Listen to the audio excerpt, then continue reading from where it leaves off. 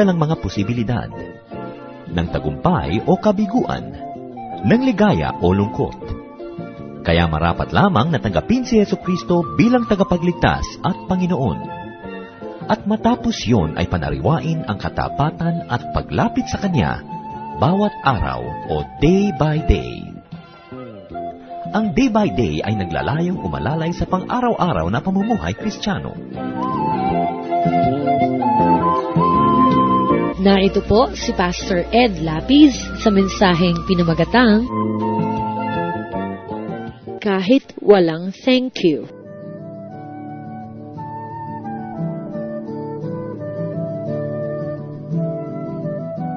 Sa mga panahon po ngayon na ang mga manggagawa ay puro mga privileges ang laman ng isip at puro bakasyon, in this age obsessed with workers' rights and perks, it can be very interesting to review what the Lord Jesus says about work and about workers.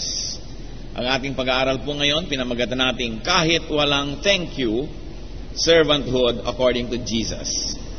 Salamat po do aming Diyos dahil kayo ay uh, nananahan sa aming puso. Salamat po dahil napakabuti niyo sa amin at binigyan niyo na naman kami ng isang araw ng extension ng buhay. Salamat sa kagalakan na aming natatamo sa pagsamba sa inyo, Panginoon. Sa pagpapagaling niyo sa aming mga karamdaman, pagpapalakas niyo ng aming loob. Sa mga pag-iingat niyo sa amin, sa aming mga mahal sa buhay at mga ari-ariang sa inyo rin nagmula. Sa lahat, Panginoon, ng inyong mga ipinagkakaloob, binabalik po namin na ipapuri, pasalamat, kinikilala namin kayo ang tunay na nagbibigay sa amin ng lahat ng mabubuting bagay. Sa sandaling ito, humihingi kami Panginoon ng kapayapaan sa aming puso. Ano man ang magiging sadlang upang kami ay makinig ng iyong salita at mapagpala, aming iniwawaksi, sinusuko. Humihingi kami Panginoon sa inyo ng isang mayamang pagtuturo. Magpapayaman ng aming isip, magpapalawak ng aming pangunawa, magpapalalim ng ugat ng aming pananalig, at magbibigay ng mga bunga ng mga mabubuting gawa. Nawa Panginoon na yung mga salita, kapulutan namin ng aral, maituwid ang aming mga kalikuan, maliwanagan ang aming mga kadiliman, at mapalakas ang aming mga kahinaan. Aming Ama, kayo po ang maging tagapagsalita, gamitin niyo lang inyong lingkod na daluyan na yung pagpapala. Bless us all, lift up your name, protect us from all work of evil men and evil spirits, sit on your throne of power, and dispense blessings to your people. In the name of Jesus our Lord, we pray. Amen. Kahit walang thank you. Luke 17, 7 to 10. Luke 17, 7 to 10. It is the Lord speaking. Suppose one of you had a servant plowing or looking after the sheep. Would he say to the servant when he comes in from the field, Come along now and sit down to eat? Would he not rather say, Prepare my supper, get yourself ready, and wait on me while I eat and drink? After that, you may eat and drink. Would he thank the servant because he did what he was told to do? So you also, when you have done everything that you were told to do, should say, We are unworthy servants, we have only done our duty. Isa pong uh, nakaka pagpaliwanag na katuruan mula sa Panginoon. Sabi niya kung kayo ay merong katulong, meron kayong empleyado, meron kayong uh, tagapaglingkod na nagbubungkal ng lupa at nag-aalaga ng mga tupa, at siya umuwi na sa loob ng inyong bahay, ano ba ang sasabihin mo bilang isang uh, employer o amo? Sasabihin mo bang halika na, umupo ka na dito at hahain na kita at kumain ka na? Hindi ba't ang sasabihin mo bilang amo eh, oh, natapos ka na mag-alaga ng mga tupa, nakapagbungkal ka na ng lupa, o bueno, magluto ka na dyan, maghain ka na, magbihis, ihanda ang iyong sarili, at paglingkuran ako at ako'y kakain na, at matapos yan, ikaw naman ay dumulog at kumain din at uminom. Pasasalamatan mo ba ang iyong katulong na gumawa ng lahat ng yan? Sabi ganyan, kayo man, isipin nyo ang ganyan mga bagay, na matapos yung magawa ang lahat ng ipinagagawa sa inyo, ang susunod yung sasabihin ay, kami po yung mga di karapat-rapat na mga otosan. Ginawa lang po namin ang dapat naming gawin o ang aming tungkulin. At nawa ipaunawa sa atin ng Espiritu ng Diyos ang kahulugan nito sa ating buhay ngayon. So, tingnan po natin, who was the audience? Sino ba yung tagapakinig? Sino ba talaga yung tagatanggap nitong itinuturo ng Panginoon? It was the Lord's disciples, ang kanyang mga tagasunod. Therefore, God's servants, God's workers. Yan po ang tunay na dapat makinig ng mensaheng ito. The Lord's disciples, God's servants, God's workers. And what was the topic? The topic was a servant's duties. Mga tungkulin ng isang naglilingkod. Tungkulin ng isang empleyado o isang katulong o isang alipin. At ito po ay pagbubungkal ng lupa at pag-aalaga ng mga tupa. So, nakikita po natin, these are two jobs. Tungkol sa mga hayop at tungkol pa sa mga halaman, so dalawa-dalawang trabaho ang ginagawa nitong pinag-uusapan na lingkod na ito. And then, what other jobs? Cooking and food preparation. Serving at the table. At kailangan pa properly attired pa siya. When you read the other versions, there is a suggestion na yung get yourself ready, eh, magbihis ka, maligo ka, alam ka namang puro putik yung paa mo at kamay mo, eh, maglilingkod ka dito sa mesa. So nakita po natin yung gawain ng isang lingkod na matapos gumawa ng dalawang trabaho maghapon, magbungkal ng lupa, mag-alaga ng mga hayop, ay uuwi pa siya para magluto, maghain, at paglilingkuran pa niya habang kumakain ang kanyang amo. So this is multitasking, what modern people would call it now, and definitely these are extended working hours. So what is the teaching? To the servant, ano po ang itinuturo ng Panginoon? Expect and be ready to work a lot. Kung ikaw ay lingkod, naglilingkod, empleyado, ikaw ay katulong, ikaw ay assistant, asahan mo at maging handa ka na magtatrabaho ka ng puspusan, mahabang oras, that you will serve some more, and that you will keep on serving because that is your duty. And what else is the teaching to servants? That you should do and give your best service. Na hindi excuse na magpabaya sa mga gagawin dahil maghapon ka na nagtrabaho o dahil marami kang ginagawa. Sabi po nung master dito, get yourself ready. And that includes the attire and the look and the cleanliness of the servant. Isa pa pong mensahe sa mga servants, do not expect to be comforted, entertained, or served. Do not expect to be even thanked by the master. Yun pong tanong sa Luke 17.9, would he thank the servant because he did what he was told to do? The obvious answer is no. At yan po style ng Panginoong Jesus sa kanyang pagtuturo, magtatanong siya ng mga tanong na obvious ang sagot. And the obvious answer here is no. The master is not even expected to thank the servant. Now, bago natin bago tayo magkaroon ng mga misimpressions about the goodness and kindness of the Lord to workers, remember that this is not a message to masters. That this is not a message and an endorsement of the employer's behavior. Ang kausap po dito ay yung mga empleyado, yung mga manggagawa, hindi yung amo. At hindi sinabi dito na approve ang Panginoon na hindi pinapasalamatan ang manggagawa. Hindi sinabi dito na approve ang Panginoon na maghapon ang nagtrabaho, pag lulutuin mo pa, maglilingkod pa. Hindi sinabi yon sapagkat ang kausap ay yung empleyado. And this is, this is a teaching style of Jesus. In our own little humble way, most of the time, my personal style in counseling is also alongside this. Meaning, binabalansi mo ang issue. So, kung ang nagrereklamo ay servant at ang kausap mo yung servant, ipinagtatanggol mo yung amo doon sa servant para yung mga reklamo niya mabalanse at makita rin niya yung kamalian niya sa pagrereklamo at katamaan noong amo niya na inirereklamo niya. Ngayon, kung nabaliktad naman at ang kausap mo yung amo, ipapakita mo naman sa amo ang kamalian niya sa sobrang niyang pag, uh, uh, halimbawa ay pagpapagod pa, doon sa kanyang mga katulong at ipapakita mo naman yung punto noong katulong. Sometimes people don't understand this style. That sometimes when I am counseling for instance a wife na sobrang marami ang reklamo tungkol sa kanyang husband, I deem it proper to put some balance in the equation before I give counsel. So bibigyan ko ngayon ng uh, katwiran yung asawang inirereklamo niya. At kung minsan sabi niya, Pastor, kampi pa po yata kayo doon sa asawa ko, eh ako po yung nagsusumbong. Eh anong gusto mo? Kampihan kita ng kampihan? Sabi kong napakasama talaga diyang asawa mo, kawawa ka naman. So ano mangyayari? Nagkampi lang tayo, hindi kita mabibigyan ng balanse. So, kung minsan naman, ang pagbabalanse ibaligtad. Kung sobrang-sobrang nade-depress itong kaharap mo at nagre-reklamo tungkol sa isang tao at may point naman yung reklamo niya, sabi mo, oo nga, masyado nga yatang malupit ang asawa mo. Kawawa ka naman talaga. Kasi discernment mo, kung ano ang kailangan niya at dapat niyang marinig, yun ang ibibigay mo. Kaya kung minsan naman, merong mag-asawang nung nagkasundo, akala pa pinagkakagalit sila ng pastor. Sabi, akala mo, yung pastor na yan, nung isinusumbong kita, oo nga daw eh, masama ka, sobra ka. Talaga? Eh, nung kausap ko yan, ikaw naman daw yung masama eh. So, pinag-aawayin niya tayo. Bakit naman kayo pag-aawayan ng counselor?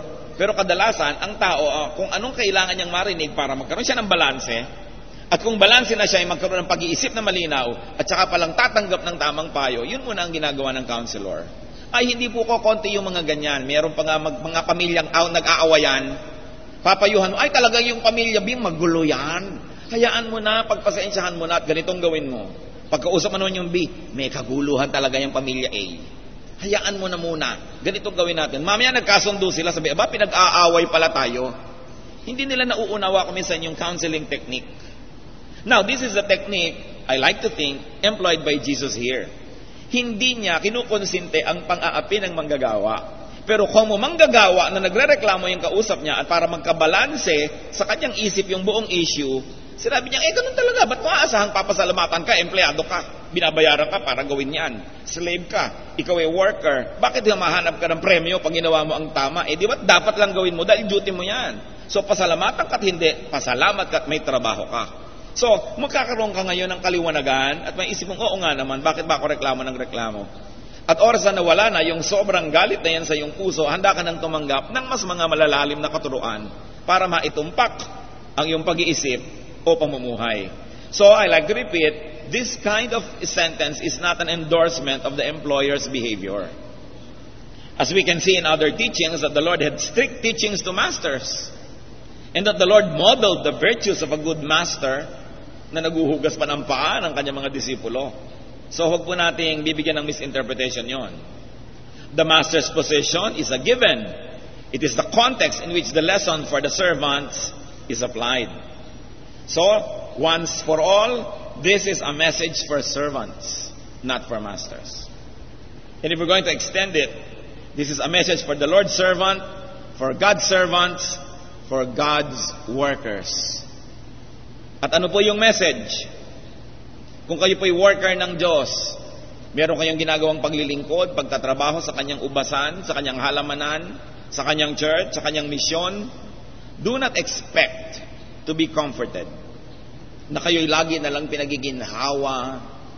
Do not expect to be entertained.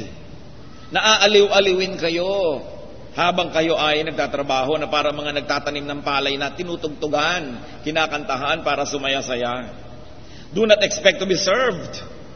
Do not expect to be even thanked and celebrated just because you serve the Lord. Just because you serve God and because you serve in God's work. So ang mensahe sa mga manggagawa ng Panginoon, huwag kayong maghanap ng pansin, ng pasalamat, ng award, ng recognition. John 6:68, Simon Peter answered him, Lord, to whom shall we go? You have the words of eternal life. So bakit naglilingkod sila Pedro sa Panginoon? Because the Lord had the words of eternal life. In other words, sa paglilingkod nila sa Panginoon, sila ang nakikinabang sapagkat nakakakain sila ng salita para sa buhay na walang hanggan. So ano man ang hirap at pagod na abutin nila, sila pa ang dapat magpasalamat sa Panginoon, Lord, thank you for allowing me to serve you. Because by following you and allowing me to be near you, we are able to eat the words of eternal life. Ilagay sa lugar ang pag-iisip. Mark 10:28, Peter said to him, "We have left everything to follow you." Sa palagay niyo ba naman ay anong iniwan ng Panginoong Jesus para siya ay magturo at magbigay ng kanyang buhay? More than everything. So walang wala sa lugar ng sino mang lingkod ng Diyos na manumbat na ako napapagod ako, nahihirapan ako, namamasahe ako, gumagastos ako, nagtitiis ako, tapos wala man lang appreciation. Nung bang ang Panginoong Jesus ay nakapako sa krus, eh, ni isa'y may lumapit na sinabing, thank you. At nakita ba natin siyang nagreklamo? Ipinapako nga siya at nananalangin. Ang ipinapanalangin ay hindi ang sarili, kundi pati yung mga nagpaparusa sa kanya. Sabi, Father, forgive them, for they know not what they do. So the Lord has given us an example of servanthood. Pagka marami po tayong inaasahan na award, commendation, a pat in the back, malamang tayo'y mabigo at sumama lang ang ating loob. Such expectations may only lead to disappointment. E paano kung hindi ka napansin at napasalamatan? Malungkot ka na sa iyong paglilingkod. Such expectations may only lead to self-depreciation and pity. Mamaliitin mo na ngayon na yung sarili, walang pumapansin sa akin, hindi siguro talaga ako kapansin-pansin, bali wala lang ang ginagawa ko, magdadramang bukid ka na ngayon, malulungkot ka na, mawawala na yung joy sa yung service. In fact, medyo rebellious pa nga ang espiritu ng tao, such expectations may only lead to resentment. Maiinis sila doon sa kanilang principal, kung sila ay teacher, sa kanilang choir director, kung sila ay singer, maiinis sila sa pastor, kung sila ay deacon o deaconess o whatever, magkakaroon ng resentment dahil hindi sila nabibigyan ng pansin. Such expectations may only lead to disillusionment and therefore to falling away. Kaya yung mga ibang naglilingkod na wala ng gana, na inis, nagtampo, na wala na lang sa church. Dahil ang gusto, i-baby, i-appreciate, i-celebrate, bigyan ng spotlight, ng award, ng diploma, ng medalya, ng plaque of appreciation. Eh, mabuti ng mabuti. Kung nangyayari, eh kung hindi. Kaya ang naglilingkod sa Diyos, dapat handa ang loob niya na walang makapuna at makapansin. Dahil alam niya na yun ay punang-puna at pansin na pansin ng Diyos. Hindi yung ang hinahanap mo lagi ay yung approval and praise of people. Kaya may mga donor na ang gusto pa eh, ang may pagkalaki-laki pa yung na litrato yung cheque niya na kasi laki ng blackboard at iaabot na ganyan para kitang-kita, marami nag-appreciate. Hindi naman nagbibigay yun eh. Naghahanap yun ng papuri ng iba. Kaya yung mga iba magdodonate sa church ng silya. Gusto pa, Pastor, pakilagay niyo po ang pangalan naming mag-asawa sa likod ng silya.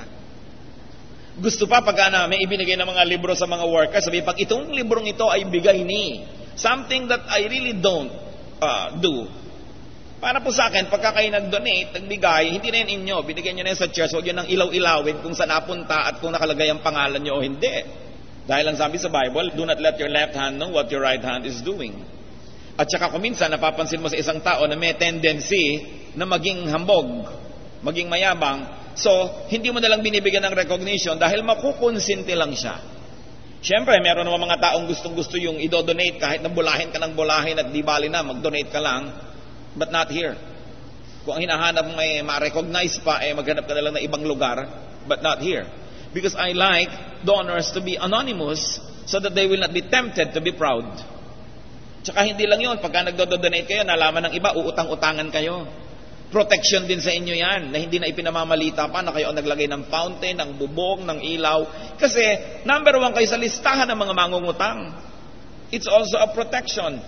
Do you know that one of the nicest things is not to be noticed? Because you can live in peace. Kung maaari lang, sana hindi napapansin. Mas tahimik ang inyong buhay. So serving and then expecting appreciation or serving because of expectations for recognition may stain the purity of one's service. Namamantsahan lamang ang kadalisayan ng ating paglilingkod kung tayo'y naghahangad at naghahanap na mapansin. Nababaliwala ang kadakilaan ng ating mga layunin kung sobra na tayong napupurit, napapansin ng tao, wala na tuloy kapapuring natira sa langit para sa atin. Pero ano sabi ng Panginoon? Yung mga hindi napapurihan ng tao at lihim ang paglilingkod, ang pananalangin at ang kabanalan ay papupurihan ng Ama. At yan ay higit lalong mas kaibig-ibig. Philippians 2, 14 to 15, Do everything without complaining or arguing, so that you may become blameless and pure, children of God without fault in a crooked and depraved generation in which you shine like stars in the universe. So yun daw ang gawin. Huwag mareklamo. Expectations of uh, uh, recognition may trivialize one's ministry. Kahit dakila na nga ang ginagawa ninyo, kung lagi naghahanap ng pansin, lumiliit, nababaliwala ang ating ginagawa. Galatians 1.10 Am I now trying to win the approval of men or of God?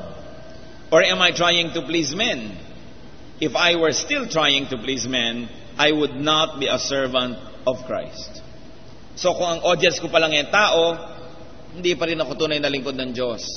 May ginagawa nga ako pero para pala for the consumption of other people so that they will see it and appreciate it, then I am not really serving God. I am serving myself.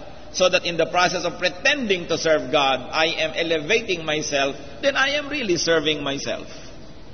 Kaya mahalaga na iniisip natin yan. Yung mga laging gustong ma-recognize, yung laging gustong siya ang abutan ng mic, may hawak na mic, merong spotlight, hindi yan naglilingkod sa Diyos. Yan ay naglilingkod sa tao lamang. Yung mga tao na pag nandyan ang lola nila o nanay nila o kamag-anak nila kahit hindi sila nakalagay sa programang aakyat sa entablado, nakikiusap na paakyatin kahit sandali lang. So magsasabi lang po ako na isang hallelujah! At pagkatapos po, bababa na uli ako. Makita lang ko ng mga kamag-anak ko. There are many people who pretend to serve God but are actually making themselves popular among their relatives. And it is not hard to see. It is not hard to know. At hindi dapat tinotolerate ang ganyang mga kaartihan. So alam niyo po ang mga tapat na lingkod, pansinin mo't hindi, tuloy ang ginagawa. Kasi naglilingkod sa Diyos, alam niyang alam naman yun ng Diyos. Naalala ko tuloy yung isa naming kamag-anak, nung nabubuhay pa ang tatay ko. May pagtitipon sa aming bahay, dumaan siya sa likod, ang dami niyang dalang pinya. At nasa lubong ko siya. Sabi niya, pinya. Ay, salamat po. Di, ibinaba na doon sa kusina, sa likod. Ngayon, nung pagpupunta na siya sa may sala, bigla niyang nasa lubong ang daddy ko.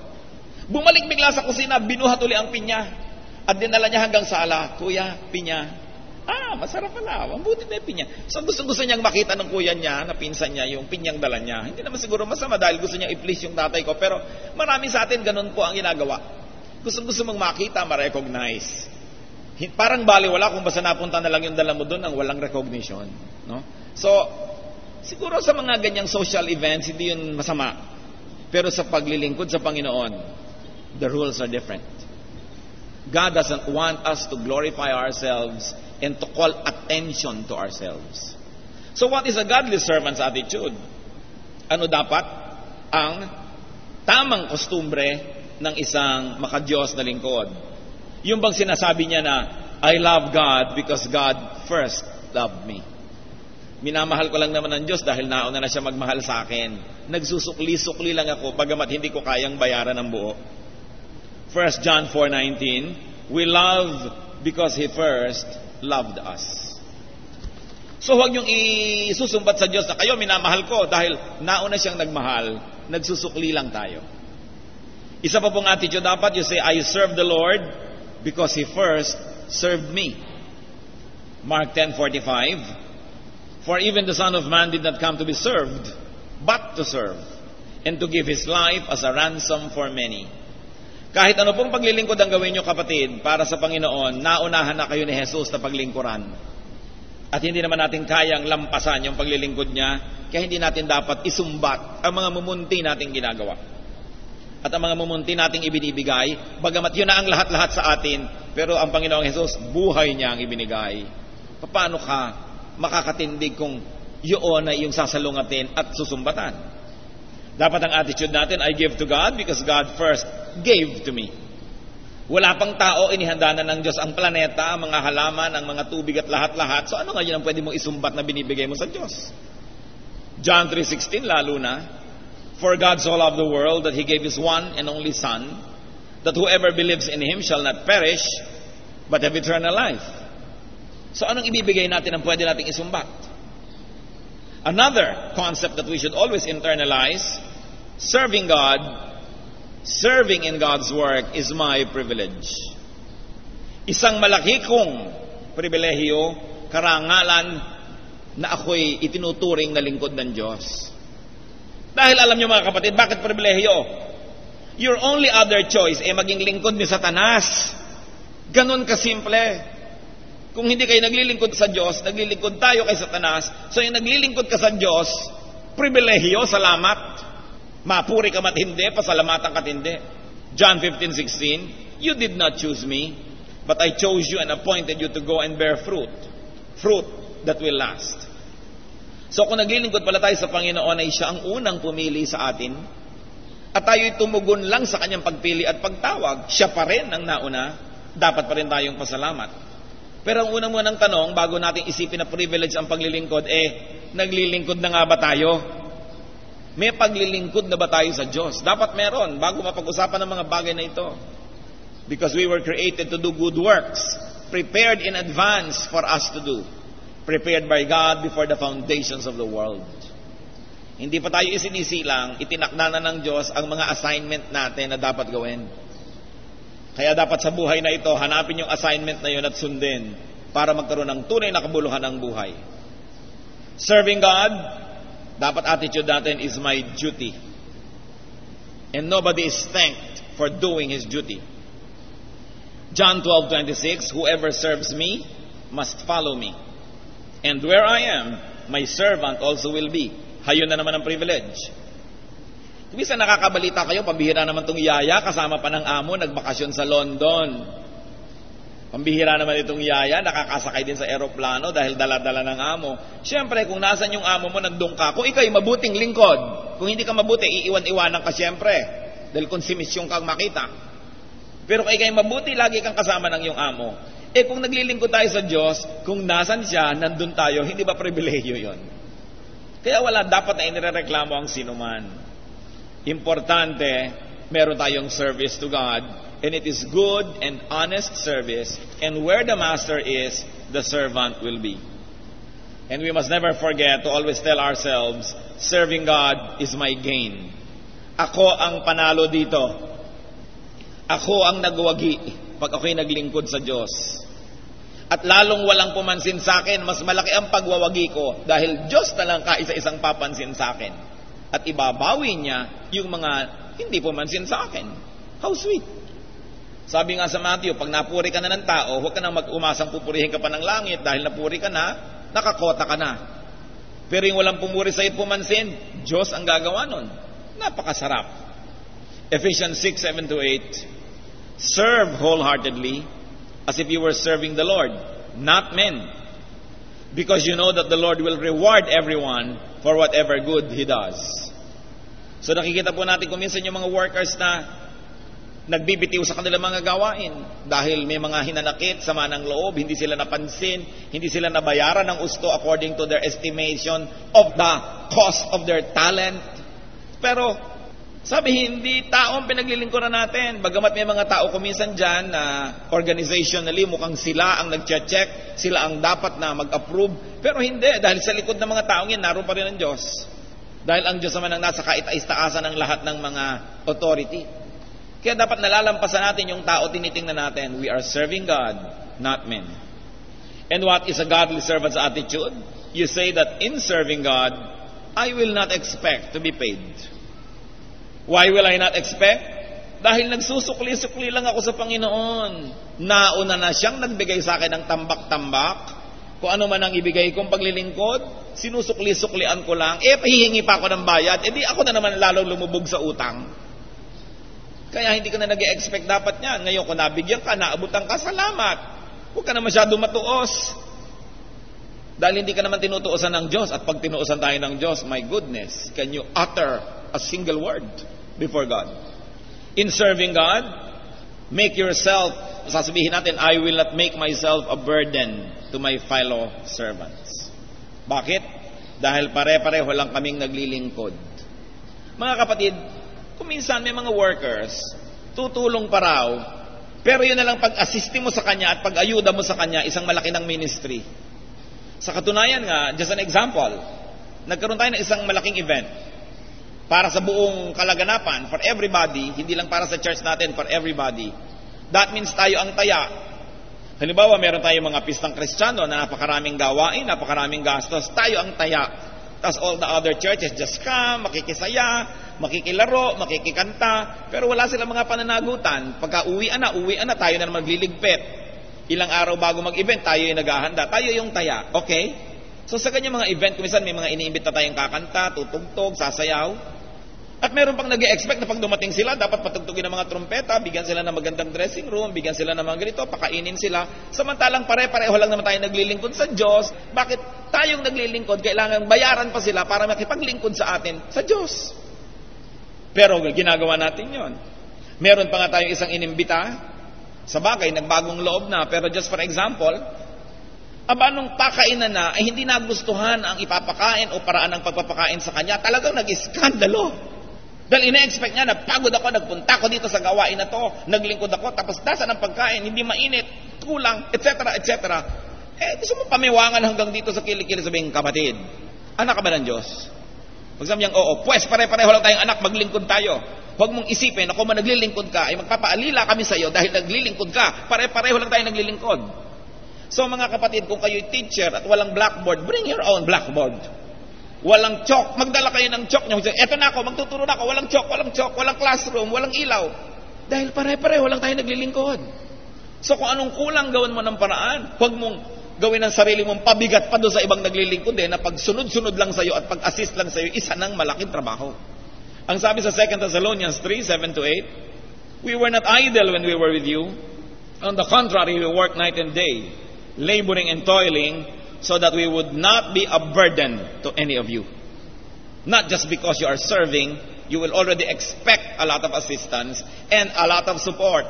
Dahil kung kulang nga yung church, kung kulang yung organisasyon, kaya ka nga nandyan para punan mo yon. Ano ka ba, bisita o anak ng Diyos? At kung ikay anak din ng Diyos, pag malasakitan ng gawain, stand in the gap, kung anong kulang, punan, at huwag maghanap ng recognition. In serving God, you say, I will not expect appreciation from the people I serve. Alam nyo kasi, kung ang hahanapin nyo appreciation, mabibigo lang kayo. Nakita nyo po yung uh, sampung ketongin na pinagaling ng Panginoon. Ilan ang bumalik para magpasalamat? Isa. One out of ten. So kung kayo kakanta at ina-expect yung pagkakaguluhan kayo pagkataas na bless ako sa iyo, na bless, ay, eh, huwag na kayong kumanta dahil baka hindi kayo puntahan, magbigti lang kayo. Magtuturo kayo, magba-Bible study kayo, umuulan, bumabaha, tumatawid kayo ng mga masusungit na panahon. Huwag niyong asahan na papasalamatan kayo o bibigyan kayo ng pinya o singkamas. Dahil pag hindi kayo binigyan, anong gagawin niyo? Magluluksa kayo. Paminsan-minsan, may mapagbigay, may appreciative at nakakabuhay ng loob at salamat naman, pero konti yon. Karamihan sa mga anak ng Diyos, they just get and forget. And what do they want you to do? They want you to give and forgive. And they get and forget. Kung ang kausap naman dito, yung ikaw yung kinakantahan, ikaw yung tinuturuan, sasabihin sa inyo, maging appreciative ka naman. Dalhan mo man lang naman kahit kamatsile yung teacher mo para ganahan naman at magkaroon ng konsuelo. Kung nakikita mong gapak-gapak na yung chinelas, ibili mo naman ng maganda-gandang chinelas sa binyang o sa liliw. Huwag na yung galing China, hindi na naman natin matatangkilik yung sarili natin produkto. Sabihin niyo pa kahit mura. Pag nabasa naman, tanggal na. So, sabi niyo, itong teacher ko na to sa Sunday school, nadalang ko na ba kahit kailan man lamang ng isang milon o isang pakwan o isang house and lot, nabigyan ko man lang kaya ito? Itong singer na ito natin kumakanta, nabebless ako, naabutan ko na ba man lang ito kahit isang butong pakwan o isang tulyang walang laman? Ang mga tao kasi, na-bless ako, na-bless ako. Abay, maging blessing ka rin naman sa iba. Tanggap ka na lang ng tanggap, di ba nakakahiya yun? Papasok ka sa sinihan, para manood ng horror na nakakatakot, magbabayad ka. Tapos pupunta ka sa church para kantahan, awitan, ipanalangin, turuan. Tapos TY, nagbubulag-bulagan pag dumadaan yung basket. Kakahiya. Tanungin niyo ang katabi niyo, ikaw ba yan? Hindi ka marunong magpasalamat, hindi ka marunong mag-appreciate. We should be appreciative. It's important. Sabi sa Bible, those who are taught should share all good things with those who teach them. And it's a teaching in the Bible. Huwag natin gayahin yung siyam na ketongin na baliwala na sa kanila, umuwi na lang basta matapos gumaling. Kailangan tayo appreciative. But remember, ang kausap dito, yung servant na sabing, huwag ka mag-expect. Para pag binigyan ka, surprise. At hindi ka binigyan, hindi ka naalala, edi okay lang, hindi ka nagtatampo. So, I will not expect appreciation from the people I serve. It is important. 1 Corinthians 9.18, What then is my reward? Just this, that in preaching the gospel I may offer it free of charge, and so not make use of my rights in preaching it. Yon ang reward. Sabi niya, yung nakapaglingkod ako, reward na yon. Kahit walang thank you. Let me be emphatic. This is for the servant, not for the served, not for the fellow worker. Kung tayo naman ang kinakausap ni Lord, tiyak natuturuan tayo maging appreciative, generous, and kind. Ang itinuturo dito ay attitude ng servant or worker, hindi behavior ng tinuturuan, ng pinaglilingkuran, o ng tinatawag na client. So do good without expectations of personal gain, and your heart will not be offended or crushed or hurt when people do not appreciate you. Christian, do good for the sake of doing good. Because if you did it, it would have been worth it. Luke 17.10, anong sabi doon? We are unworthy servants. We have only done our duty. So dapat ito po ang motto ng lahat ng mga naglilingkod sa Diyos. Luke 17.10, tandaan nyo. Sabihin nyo, we are unworthy servants. We only did our duty. Kahit walang thank you, happy na kami. Because doing good is an end by itself. Sa katunayan po, when you do good, you only complete the cycle. Why? Because God does good to you. No? Nakaikot na nakalahati. When you do good to others or to God, kasi sabi niya, when you do to others, you do to me. Eh. Then you complete the cycle. Because God gives, you give, then na-complete na. Eh kung humanap ka pa ng bayad o pasalamat o recognition, nakatanggap ka na naman, kulang na naman, meron ka na naman dapat ibalik. So by doing good and not being appreciated or thanked or paid, you have just completed the cycle. When you receive for doing it, may utang ka na naman. Mahalagang yan ay inunawain. So, ang tanong ko po mga kapatid, meron ba sa atin dito na may mga tampo, mga hinanakit, sama ng loob, dahil hindi sila napapasalamatan? Maaaring ng church o ng pamilya o ng kaibigan, ng sino man nagdunawan nyo ng mabuti? Alisin nyo sa inyong bokabularyo yan at hubarin sa inyong puso. Dahil hindi kaibig-ibig sa tingin ng Diyos na gumawa kayo ng mabuti tapos naghahanap kayo ng recognition. Sapagkat ang paggawa ng mabuti, yun pa lang sapat na. Aming Diyos, humihingi kami ng pag uh, susuri ninyo. Meron po ba sa amin ngayon na may inaalaga ang sama ng loob dahil iniisip, hindi napapansin, hindi napapasalamatan, hindi nare-recognize. Ituro mo sa amin, Panginoon, yung higit na malalim na uri ng pagbibigay, pagpaparaya, pagsasakripisyo, yung hindi naghihintay ng kapalit. Samantala, Panginoon, kung kami naman po yung nagagawa ng mabuti, turuan mo kami na magsukli, magpasalamat, mag-appreciate. At kung kami ang gumagawa ng mabuti, huwag na naming intayin ito. Ito ang nakikita namin, Panginoon, na daan para magkaroon kami ng kapayapaan. Hindi yung kabaligtaran, kung meron sa aming kalagitnaan ngayon, Panginoon, na hanggang ngayon nag-aalaga ng mga hinanakit, dahil ang kanilang iniisip, hindi sila na-appreciate, they are underpaid, overworked, ituro mo sa amin, Panginoon, yung kahulugan nito sa spiritual na buhay namin. At kung kami naman yung employer, kung kami naman yung may kapangyarihan, turuan mo kami, Panginoon, uh, to pay well, to appreciate well, at nang sa ganon, magkaroon ng balanse ang buhay. Pero higit sa lahat, Panginoon, sa paglilingkod sa inyo, sa paggawa para sa ikaw unlad ng iyong gawain dito sa lupa. Kung merong kaming mga hinahanap ng mga appreciation na hindi namin nakikita, ituro mo sa amin, Panginoon, na ito'y alisin sa aming puso. Yun lang mapaglingkuran ka ay sapat na. Patatawarin mo kami kung kami ay nagkaroon ng mga galit o hinanakit o tampo dahil sa aming paghanap ng pansin Ituro mo sa amin yung malalim na kahulugan ng matahimik at sikretong paglilingkod sa inyo. Mga kapatid, magbulay-bulay tayo. Kung tayo may mga paglilingkod na sa Panginoon, isipin natin kung paano pa ito pauunlarin nang hindi tumatawag ng pansin sa ating sarili. Isipin din natin kung tayo'y nagkukulang sa ating kapwa sa pagbibigay sa kanila ng encouragement, ng pasalamat, Isipin natin kung ano ang dapat natin gawin para makapaglingkod kung wala pa tayong paglilingkod. Maiksi ang buhay, ipinahihiram lang ang bawat sandali, bigyan natin ng kabuluhan ang paglakad ng panahon, maglingkod tayo sa Diyos. Makipagniig sa tahimik na paraan sa Panginoon at humingi pa ng mga personal na mga application ng ating mga narinig.